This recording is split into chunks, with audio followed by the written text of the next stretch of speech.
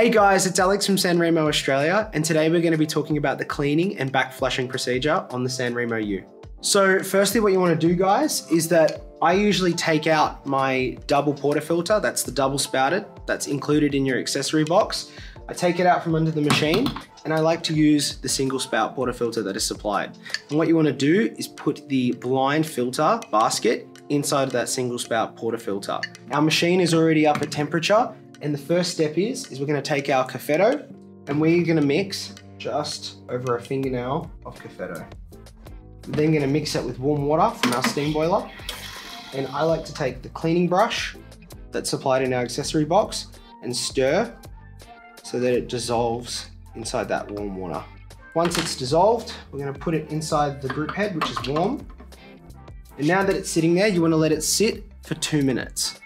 So now that it's been two minutes, what we're gonna do is we're gonna go into our menu screen and we're gonna touch the three lines at the top of the screen. Then we're gonna scroll down to wash and we're gonna start the cleaning procedure.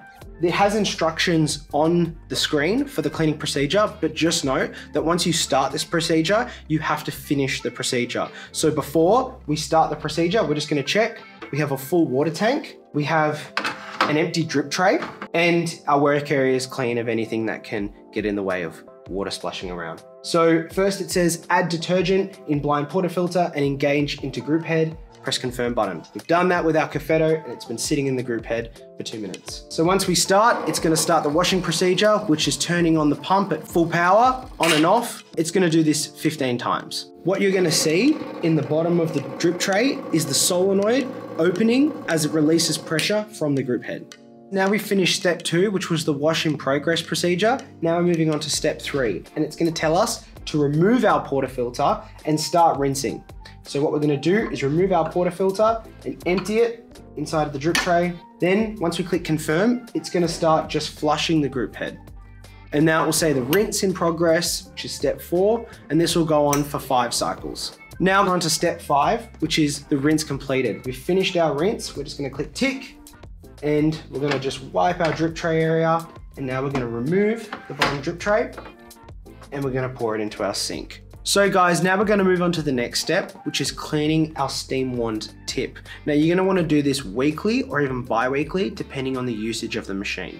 So firstly, what we're gonna do is that we're gonna grab a cloth, our microfiber cloth that's found in the accessory box of the YOU, and we're gonna grab the steam tip once we lean it up, and we're just gonna turn it to the left.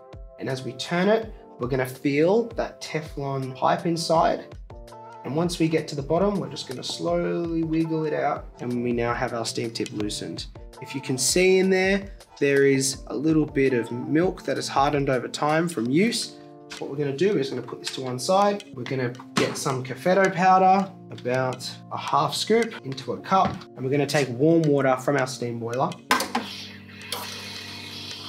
Now that we've got warm water and Cafetto that's mixed, just gonna give it a little stir, and we're gonna drop our steam tip in that warm water Cafetto solution. Now our steam tip has been sitting in that solution for about five minutes and it's really loosened up all the milk solids around the steam tip. What we're gonna do, we're just gonna pour it and it's hot into our drip tray and then our tip's gonna come out. Could be a little bit warm after sitting in that solution, so we're just gonna grab it using our microfiber towel and we're gonna see that our milk solids are all loosened and we're gonna wipe it down with our microfiber towel and it comes off extremely easy. Now, reinstalling the steam tip, we see that there is a Teflon tube inside that just protruding from the bottom of the steam wand. And once we feel that it connects through and our thread has connected with the inner thread, we're gonna slowly turn it to the right. Hand tighten, perfect. Now, we're just gonna wanna run our steam wand and all clean. So now guys, we're gonna move on to the next step, which is cleaning our shower screen inside of our group head. What you're gonna wanna do, if you have a portafilter that's inside of the group head, remove it. And then we're gonna take our tool that is included in the accessory box, which is the shower screen brush. We're gonna brush around the outside of the shower screen for any coffee residue that's left over inside of thread.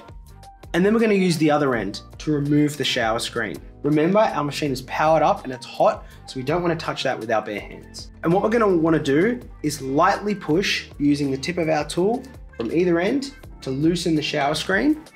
We're gonna move to the other end and we're just gonna push again. And once our shower screen drops into the drip tray, that's when we know that it's removed. Now our shower screen is dropped with our shower screen seal. And what we're gonna to want to do first is inspect the seal for any signs of wear or cracking. And that means if there is wear or cracking, that it's time to replace the seal. The YOU takes a 58 millimeter seal. And then the next step is that we're gonna want to check the shower screen for any signs of coffee residue. And if we do, we're gonna take our microfiber towel and we're just gonna wipe the inside of our shower screen. If you find that any coffee residue is stuck in between the disbursement screen and its little fine mesh holes, what you're gonna wanna do is similar to our steam tip. We're just gonna get some Cafetto, just a half scoop, put it in a cup and take water from our steam boiler.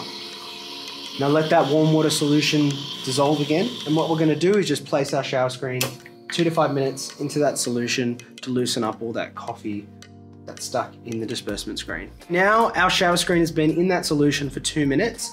We're just gonna empty that solution into the drip tray.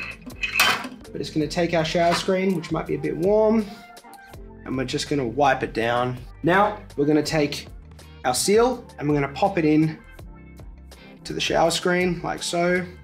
And to refit it, what I like to do is take a second basket and an existing group handle. This one has a basket inside. We're gonna remove it. And now I'm gonna put the seal inside.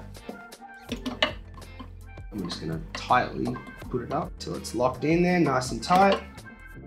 Now our seal's locked in. We're just gonna check it one more time with a basket inside of the portafilter.